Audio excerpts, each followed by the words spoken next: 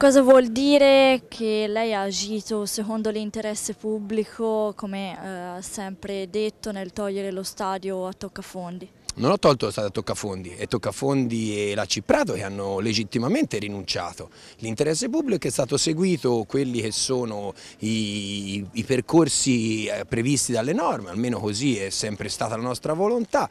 Consiglio di Stato e il TAR prima l'hanno certificato, la Procura fa legittimamente le proprie indagini e i propri approfondimenti.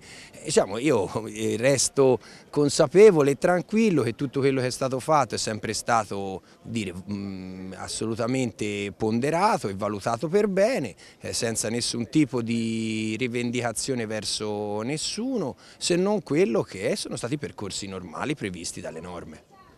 Ecco, lei è iscritto ora nel registro degli indagati, indagati per abuso d'ufficio, quale sarà di qui in poi la sua strategia difensiva? No, la strategia difensiva è di spiegare come è giusto che sia, come si sono svolti i fatti, quali sono state le scelte, come siamo arrivati a quelle decisioni, semplicemente perché siamo consapevoli che tutti quanti abbiamo fatto quello che le norme prevedono di fare. Ripeto, il Consiglio di Stato ha certificato proprio l'altro giorno che il percorso dell'amministrazione è stato assolutamente corretta. La Procura sta approfondendo eh, per conto suo, vedremo, noi spiegheremo esattamente quello che abbiamo spiegato davanti agli altri al Tribunale amministrativo quali sono stati i percorsi che hanno, che hanno portato l'amministrazione a compiere quelle scelte. Eh, poi giustamente ognuno ha proprie, eh, i propri percorsi, le proprie, le propri approfondimenti da fare, un grandissimo rispetto, ci mancherebbe altro, noi siamo, siamo tranquilli, certo non, non, fa piacere però va bene, eh, fa, parte, fa parte dei percorsi dell'amministrazione. È la seconda bega giudiziaria dopo il CREAF, per lei ritiene comunque opportuno ricandidarsi alle amministrative? Che discorso? Io questo è un discorso che non capisco e non comprendo, lo dico molto onestamente.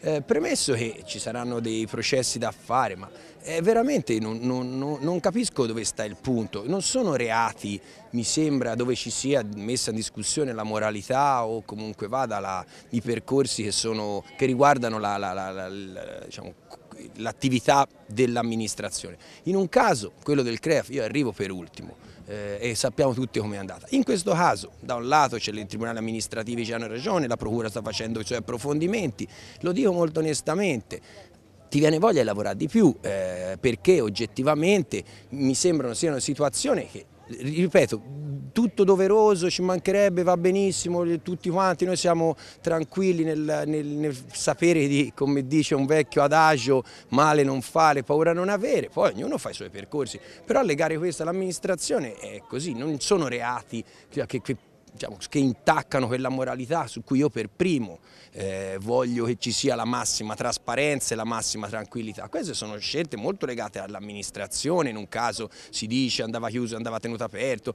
l'altro caso si potevano andare allo stadio, però sono questioni veramente legate anche a scelte, certe casi tecniche, insomma sono questioni di questo genere. E le ricandidature si valutano sul lavoro che viene fatto in città, su quelli che sono i percorsi che ci sono aperti, su quali sono gli investimenti fatti, su quali sono le prospettive culturali, economiche e di sviluppo di una città. Cioè ridurre il tutto a una candidature a questo mi sembrerebbe una roba abbastanza bizzarra e poco rispettosa per la politica innanzitutto. Poi i cittadini valuteranno, faranno legittimamente le loro valutazioni, ma questo lo trovo una discussione veramente poco sana per la, per la, per, per la politica, per la democrazia di tutti, lo dico onestamente.